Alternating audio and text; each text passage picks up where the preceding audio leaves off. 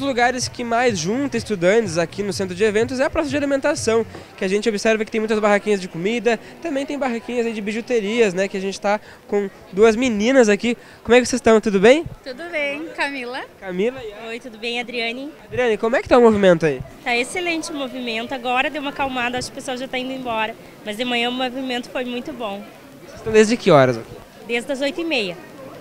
8h30 da manhã. Vêm de onde?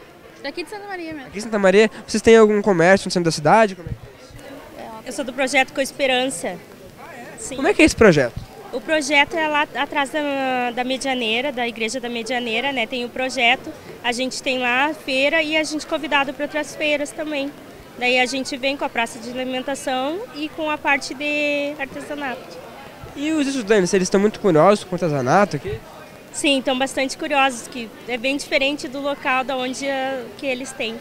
A pessoa pode encontrar aqui, ó, a gente, ó, a gente tem boné aqui, ó, a gente também tem pulseiras, tudo feito artesanalmente. Vocês mesmas que fazem?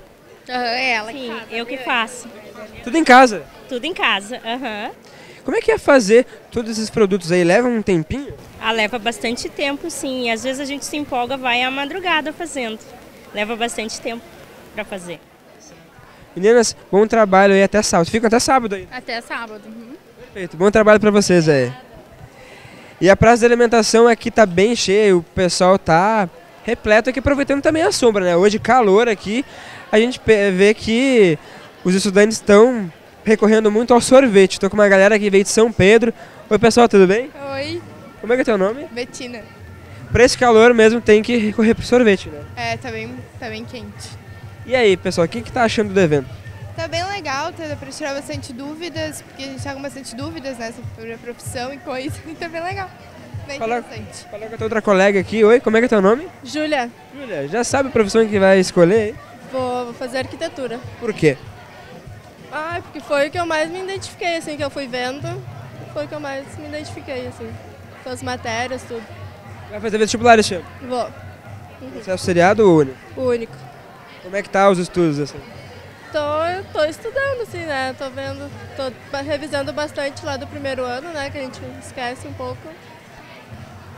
Obrigado, boa sorte, viu? Falar com mais um rapaz de São Pedro aqui, como é que tá? Como é que tá? Bom, Jerônimo. Jerônimo, e aí, cara? O que, que tá achando do evento aqui? Eu gostei bastante, tem bastante coisa pra ver, assim, ah, os estandes lá da- dos cursos, achei bem interessante. Vocês vieram todos juntos pra cá? Sim, sim. Desde que horas estão aqui?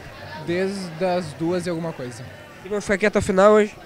Acho que não, a, gen- a gente. ah, é, daqui a pouco acho que a gente já vai estar indo embora, mas E vão voltar amanhã, sábado? Né? acho que não. Acho que hoje vai ser. Hoje deu pra ver tudo mesmo. Sim, sim, hoje já foi satisfatório. Ok, obrigado pessoal, valeu.